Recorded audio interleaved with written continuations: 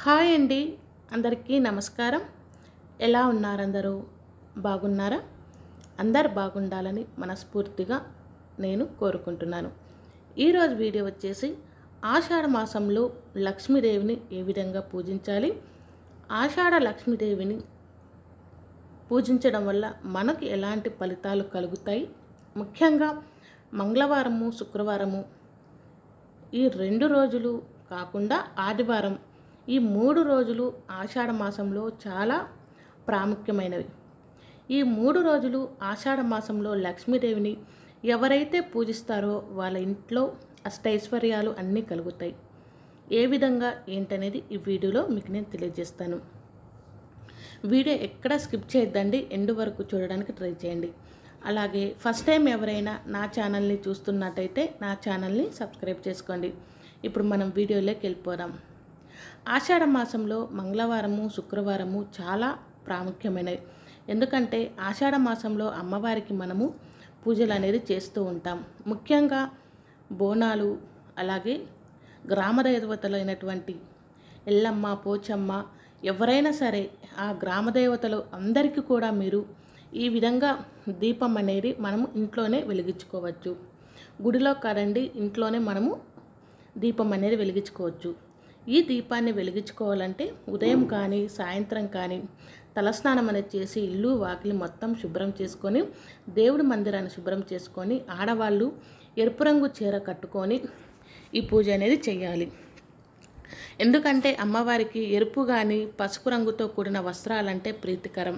అలాగే ఎరుపు రంగు పసుపు రంగుతో కూడిన పట్టు చీర కానీ లేదంటే మామూలు చీర అయినా ఏదైనా సరే ఎరుపు పసుపు కలిసేటటువంటి చీరలు ధరించి అమ్మవారికి పూజ అనేది చేసుకోవాలి.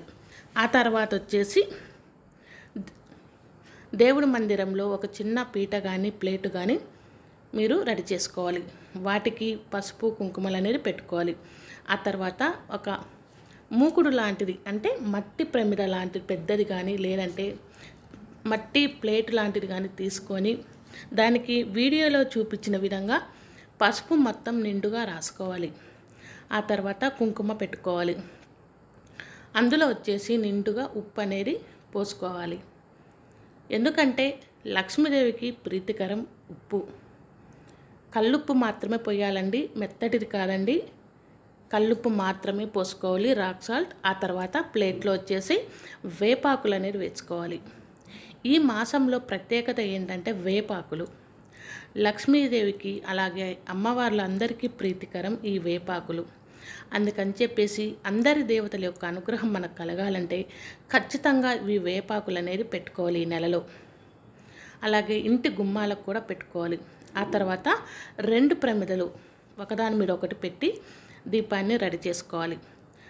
అలాగే ఇందులో నువ్వుల నూనె పోసుకొని ఆ తర్వాత ఒత్తులు పసుపు ఒత్తులు కానీ ఎరుపు రంగు ఒత్తులు కానీ వేసుకోవాలి. ఒకవేళ పసుపు రంగు ఎరుపు ఒత్తులు రెండు ఉంటే అదొకటి ఇదొకటి వేసుకోండి. ఇక్కడ వీడియోలో చూపిస్తున్నాను చూడండి రెండు అదొకటి ఇదొకటి. లేదంటే ఎరుపు రంగు ఉంటే ఎరుపు రంగు పెట్టండి. లేదంటే పసుపు రంగు ఉంటే పసుపు రంగు అయినా పెట్టుకోండి. అమ్మవారికి పసుపు కుంకుమలు అంటే ప్రీతికరం కాబట్టి ఈ విధంగా మీరు ఖచ్చితంగా చేయాలి. ఎవరైతే ఈ విధంగా ఆషాఢ మాసంలో మంగళవారము శుక్రవారము అమ్మవారికి ఇంట్లో ఈ విధంగా దీపం అనేది వెలిగిస్తారో వాళ్ళకంతా మంచే జరుగుతుంది. అలాగే అమ్మవారికి ప్రీతికరమైనటువంటి ఈ ఉప్పును ఆ రోజంతా ఉంచి మరుసటి రోజు తీసి కొబ్బరి చెట్టుకు లేదంటే నీళ్ళల్లో వేస్తే సరిపోతుంది. ఆ తర్వాత వచ్చేసి ఆ వేపాకులను కూడా మీరు ఎండబెట్టి పొడిలాగా చేసుకొని ప్రతిరోజు స్నానం చేసేటప్పుడు పసుపు వేపాకు కలిపి కలిపి మనము బాడీకి అనేది రాసుకోవచ్చు. అలా చేయటం వల్ల మనకు ఎలాంటి అంటే చర్మ వ్యాధులు కానీ అలాగే ఏదైనా దుష్ట శక్తుల ప్రభావం కానీ ఏదైనా ఉన్నా కూడా తొలగిపోతుందన్నమాట. ఈ విధంగా రెడీ చేసుకొని ఆ తర్వాత పువ్వులతో అలంకరించుకోవాలి. చాలా ప్రీతికరం అండి అమ్మవారికి ఈ దీపం అనేది వేపాకులు ఉప్పు అన్నీ ప్రీతికరమే ఆ అమ్మవారికి. అందుకే మంగళవారం శుక్రవారము ఈ విధంగా చేసినట్టయితే చాలా చాలా మంచి జరుగుతుంది. ప్రతి ఒక్కరు కూడా ఈ దీపం అనేది వెలిగించుకోవచ్చు. మాకు ఆషాఢ మాసంలో పట్ ఈ విధంగా చేయము మేము చేయలేము అని అనుకోకూడదు. ఎవరైనా చేయొచ్చండి. చాలా మంచిది. ఆ తర్వాత దీపం దగ్గర పసుపు కుంకుమ గంధము అక్షతలు పువ్వులు అన్నీ వేసి ఆ దీపానికి ఆ దీపలక్ష్మికి మనము నమస్కారం చేసుకోవాలి. ఆ తర్వాత వచ్చేసి పసుపు కొమ్ములు. అమ్మవారికి ప్రీతికరము ఈ పసుపు కొమ్ములు. పసుపు కొమ్ములు తీసుకొని దాని చుట్టూ మనము దీపం దగ్గర పెడుతూ మీకు వీలుంటే అష్టోత్తరం చదువుకుంటూ ఒక్కొక్క పసుపు కొమ్ము పెట్టండి. లేదంటే తొమ్మిది కానీ పదకొండు కానీ పసుపు కొమ్ములు అక్కడ పెట్టి ఓం శ్రీ మాత్రే నమ అని కూడా మీరు చదువుకోవచ్చు. లేదంటే మనసులో అమ్మవారిని తలుచుకొని ఆ పసుపు కొమ్ములు అనేది అక్కడ పెట్టుకోవాలన్నమాట. ఈ పసుపు కొమ్ములను తర్వాత ఏం చేయాలంటే మెత్తగా పొడి చేసుకొని వంటల్లో వాడుకోవచ్చు లేదంటే మొహానికి పూసుకోవచ్చు. అంతేగాని కాళ్ళకు మాత్రం వాడకూడదనమాట కాళ్ళకు పసుపు మాత్రం పూసుకోకూడదు. అలాగే చిన్నపిల్లలు ఉన్న ఇంట్లో ఈ పసుపు కొమ్ములు దంచి స్నానం చేసేటప్పుడు బాడీకి పూసినా సరిపోతుంది. ఇదండి. ఆషాఢ మాసంలో లక్ష్మీదేవికి ప్రీతికరమైనటువంటిది. ఈ విధంగా ఉప్పుతో కూడిన దీపం పెట్టి ఆ తర్వాత వేపాకులతో కలిపిన ఈ దీపం పెట్టినట్టయితే అమ్మవారి యొక్క అనుగ్రహం అనేది ఖచ్చితంగా మనకు కలుగుతుంది. ప్రతి ఒక్కరు చేయొచ్చండి. టైం అనేది ఏం లేదు. ఉదయము చేసుకోవచ్చు సాయంత్రం చేసుకోవచ్చు అలాగే ఆదివారము చేసుకోవచ్చు. ఆషాఢ లక్ష్మికి మనము ఈ విధంగా పూజించినట్టయితే అష్టైశ్వర్యాలు సుఖ సంతోషాలు అన్నీ కలుగుతాయి. కొత్తగా పెళ్ళైన వాళ్ళు చేసినట్టయితే ఇంకా మంచిది.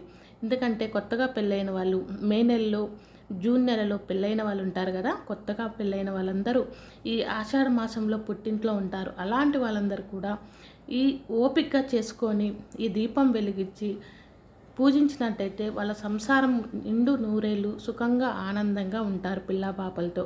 అందుకని చెప్పేసి ప్రతి ఒక్కరు కూడా ఈ ఆషాఢ మాసంలో ఈ దీపం వెలిగించి ఈ పూజ అనేది చేసుకోవచ్చు.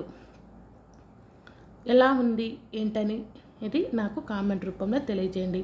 అలాగే ఫస్ట్ టైం ఎవరైనా నా ఛానల్ని చూస్తున్నట్టయితే నా ఛానల్ని సబ్స్క్రైబ్ చేసుకోండి. ఈ వీడియోలో మీకు ఏమైనా తప్పులు కానీ దోషాలు కానీ అనిపిస్తే కామెంట్ రూపంలో తెలియజేస్తే ఆ దోషాలు అనేది నేను సెర్చ్ చేసుకుంటాను. ఎందుకంటే ఒక్కోసారి మనకు తెలియకుండానే తప్పులు జరుగుతూ ఉంటాయి. మీరు నాకు తెలియజేస్తే ఆ దోషం అనేది నేను కరెక్ట్ అనేది చేసుకుంటాను. ఆ తర్వాత ధూపము దీపము అన్నీ చూపించేసేయాలి. ఇది వచ్చేసి మనము ఇంట్లోనే మనం ఇంట్లోనే దేవుడి మందిరంలో ఈ విధంగా మనము చేసుకోవచ్చు అనమాట గుడిలో కాదండి మనం ఇంట్లోనే పూజ అనేది చేసుకోవచ్చు. ప్రతి ఒక్కరు చేసుకోవచ్చు ఈ ఆషాఢ మాసంలో ఆషాఢ లక్ష్మి మీరు ఓపిక చేసుకొని ఈ దీపం వెలిగించినట్టయితే మీకు అంతా మంచి జరుగుతుంది. ఈ వీడియో యూజ్ అవుతుంది అనుకుంటే ఫ్రెండ్స్కి కానీ రిలేటివ్స్ కానీ షేర్ చేయండి. మరి యొక్క మంచి వీడియోతో మళ్ళీ కలుస్తాను.